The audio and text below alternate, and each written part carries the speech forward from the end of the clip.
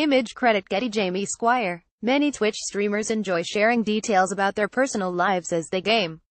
But even though his username is Mighty Mouse UFC 125, Demetrious Mighty Mouse Johnson would rather not chat on stream about his career as the flyweight champion of the UFC. I think a lot of the fans get mad at me for not talking about fights, but at the end of the day, I'm a human being, Johnson said. When a person thinks about fighting and makes fighting their world, when they lose or things don't go the way they wanted, it all comes crashing down.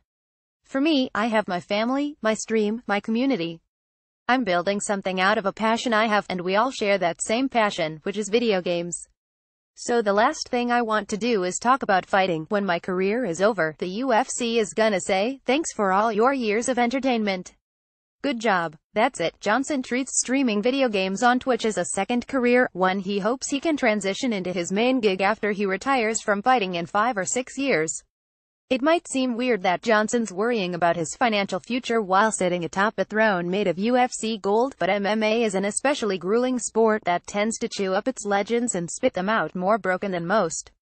Put another way, he's not expecting any favors, it's time to start working on other things so that when I'm done fighting, I can be a great caster in H1Z1 or PUBG or Street Fighter or anything, really, he said in a phone interview last week. Because when my career is over, the UFC is gonna say, thanks for all your years of entertainment. Good job. That's it. Building his Twitch presence around the novelty of being an MMA fighter, then, wouldn't make much sense, because Johnson won't always be one. Johnson has brought up the topic with his viewers before, but it always ended up devolving into roundabout arguments over who should have won certain fights. So while he said he has no problem with folks in his chat going into full fight nerd mode every once in a while, he wants no part of it. Streaming is, however, good motivation for Johnson to keep himself safe during fights. Playing games for an audience is a gig that requires a sharp, observant mind, something a procession of concussions will knock right out of you. Johnson said that he's been in fights where he swung like a wildman, but he ate tons of damage, and his coach told him it was a fist fight, not martial arts. The name of the game is hit, not to be hit, Johnson said, adding that he wants to create a fighting style where he doesn't get hit, and it's exciting. That way, he'll still be able to talk the talk when he's streaming, even if he can't walk the walk to the cage so well anymore. When I fight, I go into a dark place where I'm focused on beating my opponents. How can I break them down basically? All I'm focused on is how to hurt the human body. Still, though, it's not always easy to separate Johnson the man from Mighty Mouse the fighter. Johnson regularly streams with other fighters like former UFC light heavyweight champion Quinton Rampage Jackson, because he knows that fight fans eat that kind of stuff up.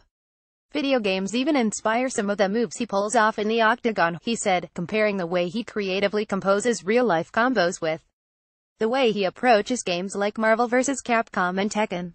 It's up to you to go out there and make up a combo that flows well and doesn't drop so that when you're in a competition, you maximize your damage, he said. In the past, he'd do things like stream before a fight, go in, and then resume streaming before jaunting off to an after party. These days, though, he's tapered that off I don't stream during fight week anymore, he said. When I fight, I go into a dark place where I'm focused on beating my opponents, Johnson explained. How can I break them down basically? All I'm focused on is how to hurt the human body. Instead of that dark place, Johnson wants his streams to be focused on sharing a more positive side of himself, the one that's passionate about video games. Mixed martial arts is the last thing on my totem pole when I stream, he said. If I want to build a community on mixed martial arts, then I'd be focusing more on making MMA videos, demonstrations, tutorials on how to do things. I'm not about that.